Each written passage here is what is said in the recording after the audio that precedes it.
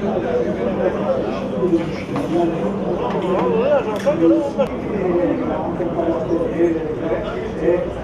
you.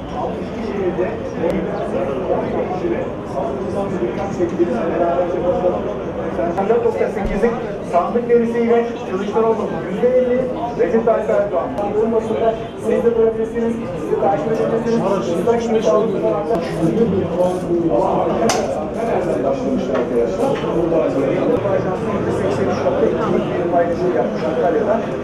Milliyetçi ve güvenlikçi dilin Yeşil Sol Parti seçmeninde etkili olacağını e, söylüyorum. Gerçi Bekir millet iradesini yeniden iktidardan yana kullanmıştır.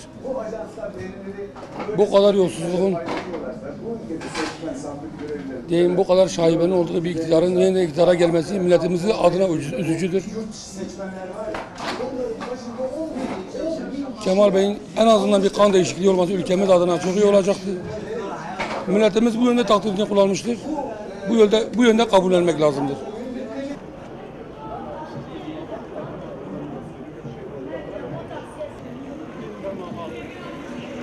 Son fiyatı mı?